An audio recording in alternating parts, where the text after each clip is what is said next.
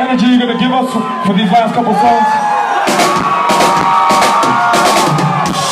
That didn't feel like much, guys. That circle pit was not a Farmington circle pit. Guys, we need to kick this fucking shit up. You guys need some older shit? Is that what's going on?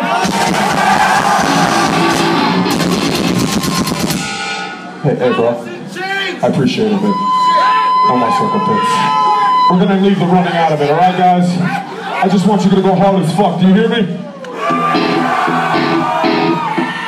Or you can go soft as fuck, whatever. Have a good fucking time, that's all we give a fuck about.